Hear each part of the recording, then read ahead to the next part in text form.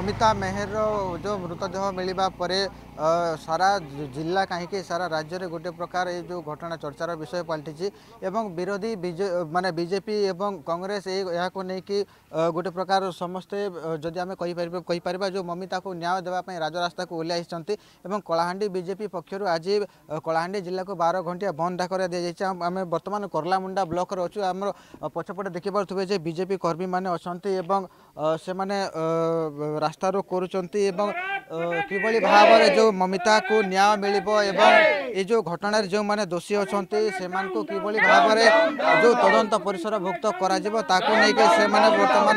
କରଲାମୁଣ୍ଡା ବ୍ଲକରେ ରାସ୍ତା ଅବରୋଧ କରୁଛନ୍ତି ପୁରା ଶାନ୍ତିପୂର୍ଣ୍ଣ ଭାବରେ ସେମାନେ ଧାରଣା ଦେଇଛନ୍ତି ବୋଲିକି ଆମେ କହିପାରିବା କିଛି ବିଜେପି କର୍ମୀ ଅଛନ୍ତି ଆମେ ତାଙ୍କ ସହିତ ଆଲୋଚନା କରିବା ଆଜ୍ଞା କ'ଣ କହିବେ ଆଜି ଯେଉଁ ଆପଣମାନେ ବନ୍ଦ ଡାକରା ଦେଇଛନ୍ତି କ'ଣ ଆପଣମାନଙ୍କ ଦାବି ରହିଛି ଆଜ୍ଞା ଆଜି আমি ବଣ୍ଡାକାର ଦେବାର ମାନେ ହେଲା କଳାହାଣ୍ଡି ବିଜେପି ତରଫରୁ ଆଜି ବଣ୍ଡାକାର ଆଜି ହେଇଛେ ମାନ୍ୟବର ମୁଖ୍ୟମନ୍ତ୍ରୀ ଖୋଦ୍ ତାମାନେ ମହିଳାକୁ ମାଆକୁ ସମ୍ମାନ ଆଉ ଗାଁକୁ କାମ ଆଉ କଥା କମ୍ ଆଉ କାମ ବେଶୀ ତ ଇ ଉଦାହରଣ ଦେଇକିରି ଆଜି ଯେନ୍ ଡିପ୍ଟି ପିଟିଛନ୍ କଳାହାଣ୍ଡିର ଖୋଦ୍ ମୁଖ୍ୟ ଖୋଦ୍ ତାମାନେ ସେ ବିଭାଗର ମନ୍ତ୍ରୀ ଆଇ ତାର ଅଞ୍ଚଳରେ ଇ ସବୁ ସମସ୍ୟା ହେଇଛେ ଆଉ ନାରୀକୁ ଆଜି ଯେଉଁ ଭାବେ ବଳାତ୍କାର ଆଉ ନିର୍ଯାତନା ହେଇଛେ ସେ ବିଷୟରେ ଆଜି ବିଜେପି ତରଫରୁ ଆଜି ଆନ୍ଦୋଳନରେ ଆମେ ଉତରିଛୁ ଆଉ ଆଗାମୀ ଦିନରେ ଯଦି ଇଟା ଯେ ତାର ପ୍ରତିବାଦ ଯଦି ହେବା ତ ବିଜେପି ତରଫରୁ ଘୋର ଆନ୍ଦୋଳନ ହେବା ଦେଖନ୍ତୁ ଆଜ୍ଞା ଏଇ ଜାଗାରେ ଖୁଦ୍ ନିଜେ ଦିବ୍ୟ ଶଙ୍କର ମିଶ୍ର ଗୃହମନ୍ତ୍ରୀ